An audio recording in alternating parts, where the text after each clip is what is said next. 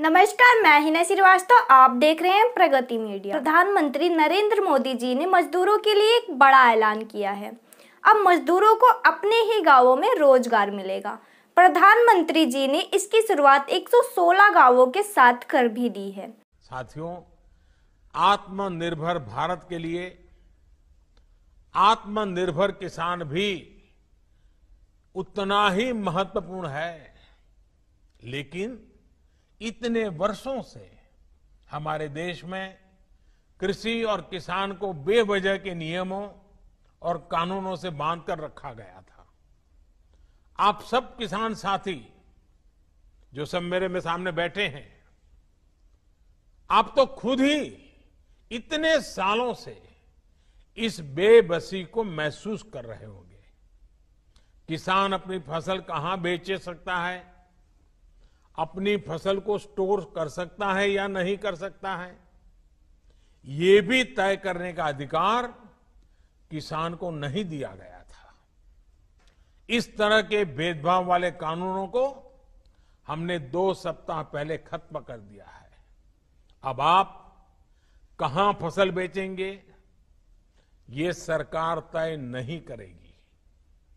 बाबू लोग, अधिकारी लोग तय नहीं करेंगे, बल्कि आप मेरा किसान खुद तय करेगा। अब किसान अपने राज्य के बाहर भी अपनी फ़सल बेच सकता है और किसी भी बाज़ार में बेच सकता है। अब आप अपनी उपज का अच्छा दाम देने वाले व्यापारियों से, कंपनियों से सीधे जुड़ सकते हैं। उन्हें सीधे अपनी फ़सल बेच सकते हैं। पहले जो कानून फ़सल के स्टॉक करने पर रोक लगाता था, अब उस कानून में भी परिवर्तन कर दिया गया है।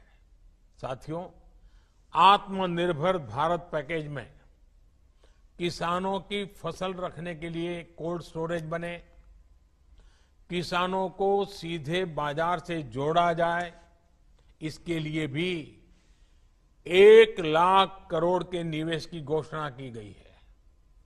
जब किसान बाज़ार से जुड़ेगा तो अपनी फ़सल को ज़्यादा दामों पर बेचने के रास्ते भी खुलेंगे। आपने आत्मनिर्भर भारत अभियान के तहत एक और फैसले के बारे में भी सुना होगा। आपके गाँवों के पास, कस्बों और छोटे शहरों में स्थानीय उपज से अलग अलग अलग उत्पाद बने, पैकिंग वाली चीज़ें बने, इसके लिए उद्योग समूह बनवाए जाएँगे। इसका बहुत बड़ा लाभ किसानों को होने जा रहा है।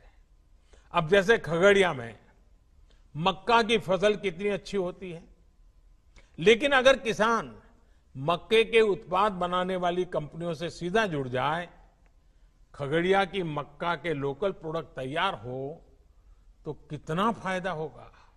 इसी तरह बिहार में मखाना है लीची है, केला है, हमारे यूपी में आंवला है, आम है, राजस्थान में मिर्च है, मध्य प्रदेश की दालें, उड़ीसा, झारखंड में वनों की उपजें, ये हर ज़िले में ऐसे अनेक लोकल उत्पाद है जिनसे जुड़े उद्योग पास में ही लगाए जाने की योजना।